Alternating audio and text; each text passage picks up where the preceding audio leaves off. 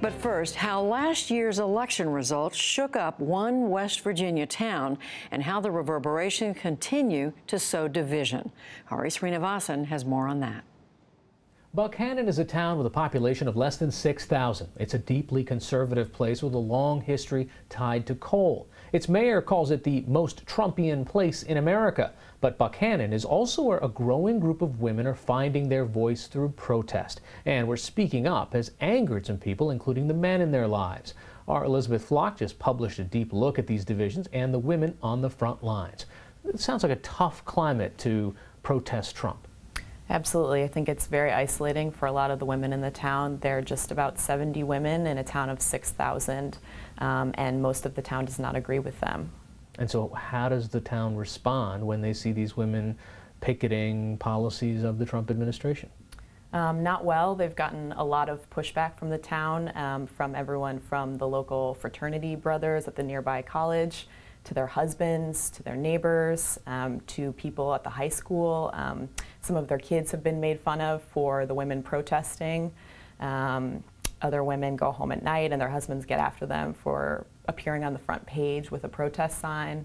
Um, so for them, I, I think it's a constant struggle to keep protesting in light of the reaction that they're getting. As you point out, a lot of these women were not engaged in this way before this election. Absolutely not. Most of them told me the only political participation that they'd had up until this point was voting. Um, most of them had never held a protest sign. This is very new to them. I think what's interesting is this wasn't an organized thing. A lot of these women just decided individually that after the election they wanted to do something. They wanted to go out and protest. They went to the county, in front of the county courthouse, and held a sign, and they found that there were other women there doing the same thing. Hmm. And, and, as you point out, uh, their protests are met with counter protests. What's that like? Um, well, the most striking example was after the announcement of the proposed travel ban when the women did a march at the county courthouse and a number of trucks showed up as in counter protest, um, mostly men, uh, members of the local fraternity from the nearby college, um, and other locals, and basically spewed smoke at the women as they were marching. They were enveloped in a huge cloud of black smoke, dropped firecrackers. Um, it was a scary scene in which a lot of the women tried not to run or scream and give the men the reaction that they wanted.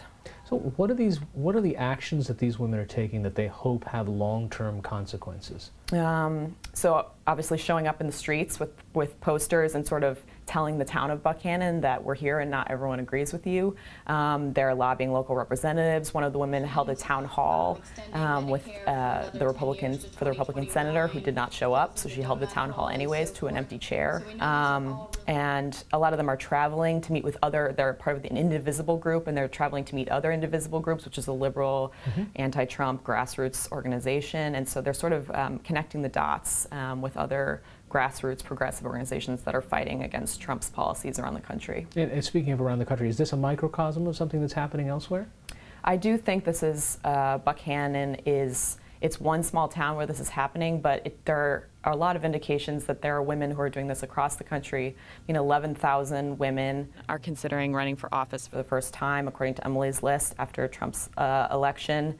Um, obviously, the Women's March was a huge show of interest by women in participating, and um, the indivisible groups that have been spreading across the country. I think there's 6,000 of them now. And after the story came out, um, a lot of women from rural areas wrote and said that this really resonated with me, and this is what's going on in our, in our town as well, in Pennsylvania and mm-hmm. Ohio, mm-hmm. across Appalachia.